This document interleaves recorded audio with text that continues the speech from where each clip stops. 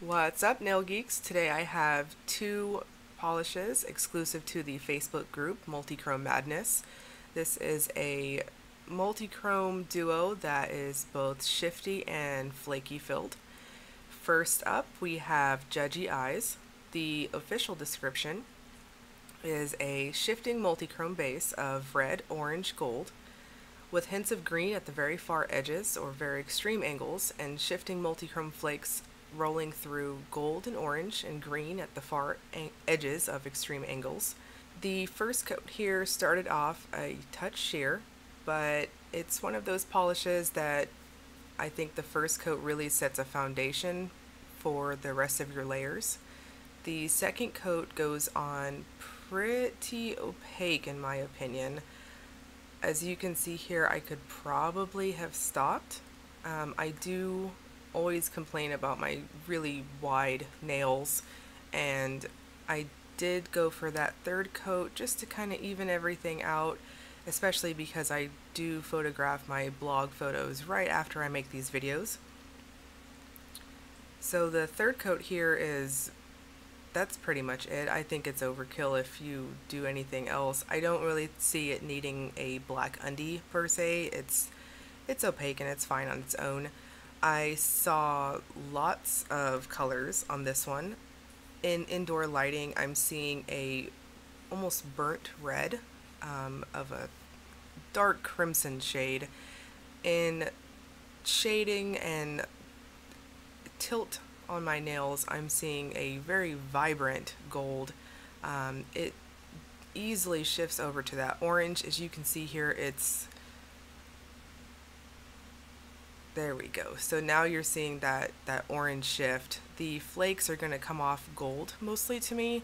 Um, I do see them shift in shaded lighting.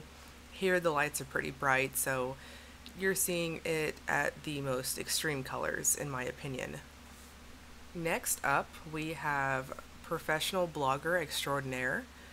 The official description is a shifting multichrome base of silver green with hints of blue and purple at the very far edges or very extreme angles, and shifting multichrome flakes of red, orange, and gold.